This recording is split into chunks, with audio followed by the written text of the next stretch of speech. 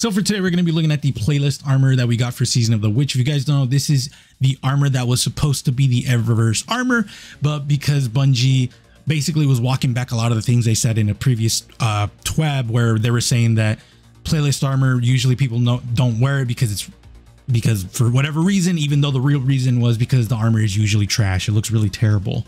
So Joe Blackburn came out and basically ran back a lot of the things that was said in that TWAB, essentially giving us the Eververse armor for the playlist armor as an apology. And uh, I think he said that he's going to be, they were going to be working on playlist armor.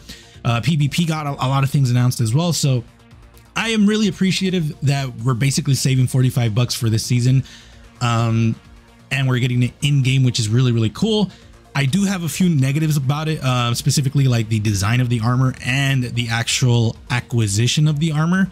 But that's pretty much it. Let me know what you guys think. Do you guys like the armor? Are you guys currently farming it? Let me know in the comments below. But we're going to talk about the acquisition first and then look at the armor. So hold your hold your horses a bit because I got to talk about this because I thought I think it was really important. So for me, I this is anecdotal, but for me, I think the drop rates are really terrible. For me specifically, my hunter, and I'm going to be honest with you guys, took essentially a, a, a full reset to get the whole thing. Titans about a full reset as well. And then for my Warlock, that one was an anomaly. I got it in like under 20 matches, which is really weird. But for my Hunter and Titan, again, it took me a lot of time. So much so that I actually was so I started an Iron Banner when it first came out. I decided to do Iron Banner the whole time just because I wanted to kill two birds with one stone, get the armor so I can review it, and then get the shaders so I can review it as well, which I'm currently working on as well. And I was pretty much happy. Went to my first reset, did not get, like, I think I got one or two pieces for the Hinterland set, uh, which is the Hunter set. And then I went for another rotation because obviously I need to get the shader, and the shader is basically at Legend. Did all of that, and I think I had gotten like a few pieces of the Biosphere Explorer set, which is the Titans. So at that point, I had only had a few pieces for the Hunter and Titan, and I was at reset two.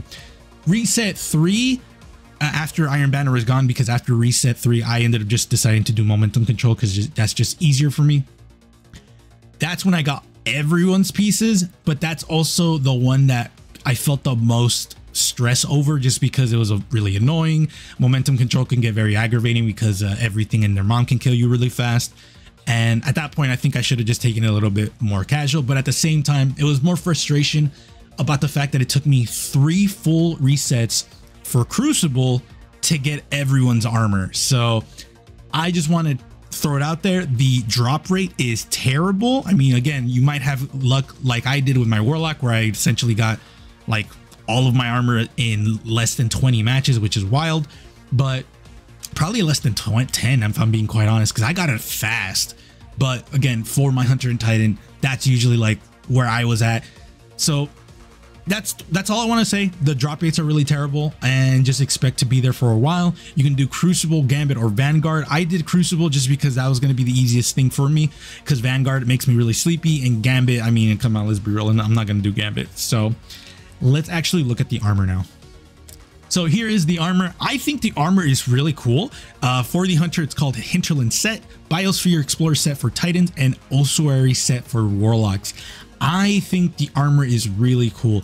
We're not going to look at shader right now. We're going to look at that later because uh, that's where the critique really comes in.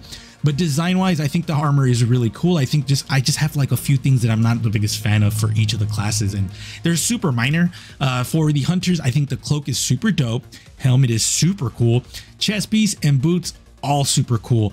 The thing that I'm not the biggest fan of are the actual arms. Uh, and it's not even like the arms themselves. I think the hands are cool. The actual forearms are cool. It's the shoulder pads. And for anyone who has followed my content for a while, you guys will know that I'm not the biggest fan of asymmetry. And that's not even completely true. I like asymmetry if it's done correctly because this one's just one side is heavier than the other side and I don't like that. I would have preferred if the left side of the arms for the for the hunters had a shoulder pad as well, but it wasn't the same design and maybe it was something else or maybe it was like actual skull of Ahamkara because I'm pretty sure this is an Ahamkara hunter look um, for all the classes. So the skull of whatever they were hunting on that arm would have been super dope because yes, it's asymmetrical, but at least it's like it's equal on both sides. It's not heavy on one side, which is what the problem is for this one. Uh, Titans, I think the helmet is really cool. The chest piece, uh, although I do think it looks cool, I would have preferred if it was a little bit more more bulkier at the back and in the front. Like you're hunt you're hunting Ahamkaras. I again, I'm assuming they're Ahamkaras because the bone doesn't change color.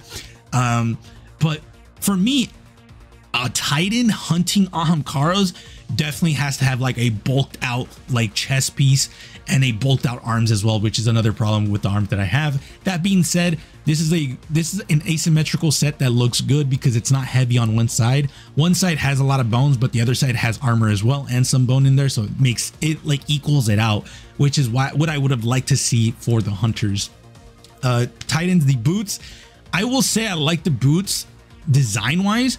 I don't like the fact that the shin uh, armor on the right side does not change color uh the same color as the other armor. Like legitimately it, it changes some to something else which is really aggravating.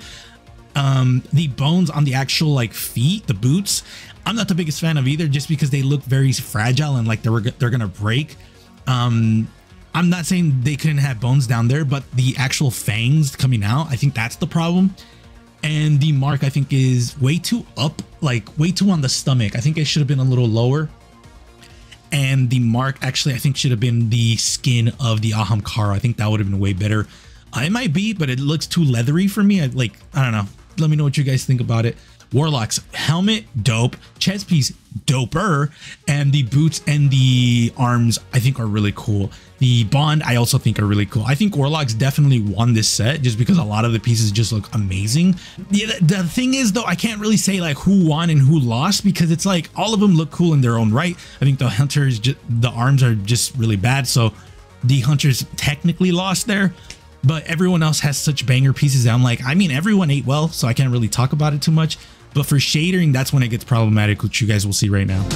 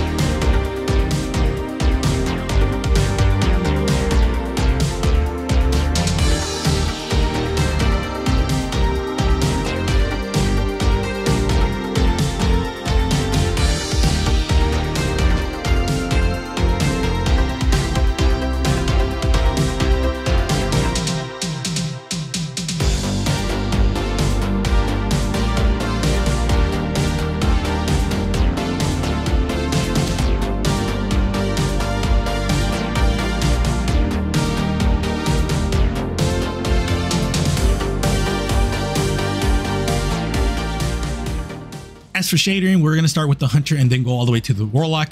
So I am not a big fan of pieces that don't change color. Uh, if you guys have followed my content for a while, you guys will know that I like loathe pieces that don't change color because it, it just stifles your look. It stifles what shader you're going to use.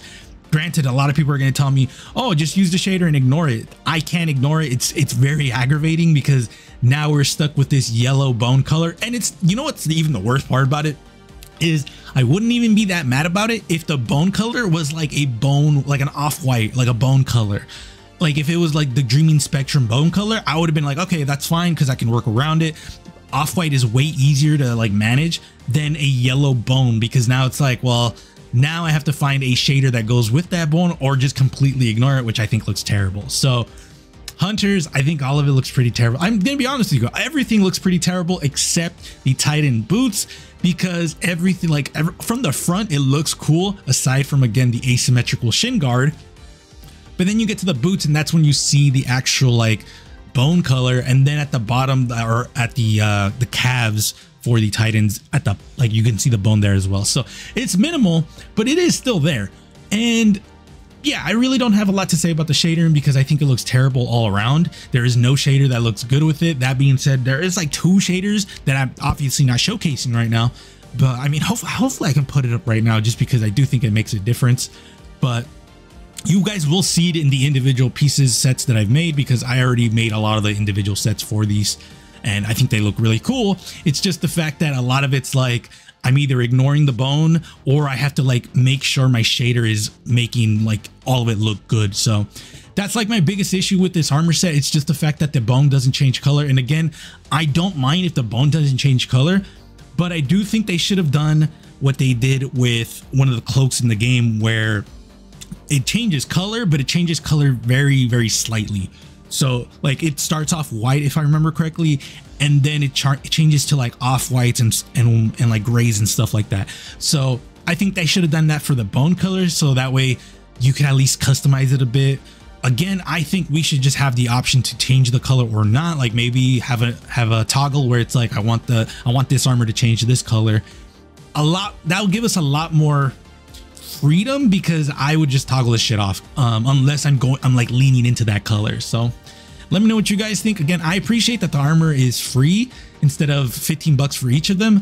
But at the same time, I would have still tore, tore this armor up if I had bought it because that's what I usually do. Like I'm not, I don't sugarcoat stuff and I will tell you guys what bothers me about the armor. So this one is, it's literally just the bone color and some of the asymmetry in the actual design that really like annoys me. Other than that, I think this armor would have been an easy A, like S plus probably if the bone color had had changed. If the bone color had changed, this would have been such an easy dub, but unfortunately we don't live in that world. So let me know what you guys think about the armor itself. I do have a few things that I'm working on. I'm currently working on the Hex Rot set, which is the seasonal pass armor. I already got it all, and this is actually the next video I'm going to be working on. And then we're going to be working on the individual sets for the Ahamkara sets. That's what I'm just going to call them because that's what they are essentially. Um, we're going to be doing the individual sets, which is the Hunter, Titan, and Warlock. I got them all done. And I'm currently working on the Hex Rot sets because I'm going to be real with you guys. That one's the one that's going to give me a lot of trouble because we don't have a lot of like Druid sets in the game. So now it's just like, I uh, hope this looks cool. Uh, hopefully. So yeah, I'm also going to be working on these shaders because I'm going to be working on the playlist shaders, which I already have, the season pass shaders, the Iron Banner shader, and I'm also going to be doing the weapons from this season because I still want to do that and I have it all done. I just need to do the voiceover, which is what I'm doing today. All today's just going to be voiceover Monday. So let me know what you guys think. I appreciate you guys. Be safe. I will see you guys later.